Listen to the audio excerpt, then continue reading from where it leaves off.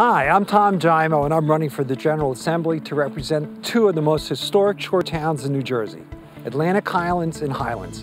And like most of us, I spent a considerable amount of time on First and Bay Avenue, as we all did, going to the Atlantic Theater, playing baseball in the park, fishing off the beach. These are some of my fondest boyhood memories.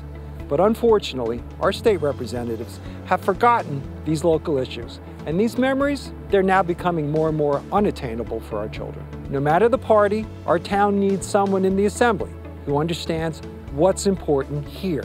These two towns have such great potential, which has yet to be realized. Bay Avenue is below sea level. Stormwater management and flood control programs, which have already been developed, have yet to be implemented. We must preserve the historic look and feel of our towns while encouraging economic growth.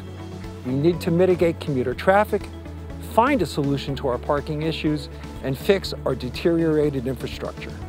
We must lower our taxes so that our children can comfortably afford to live in the highlands as we have. We desperately need help from our state and our federal agencies to relieve the burdens that have been put on our boroughs, and I will bring that help to you.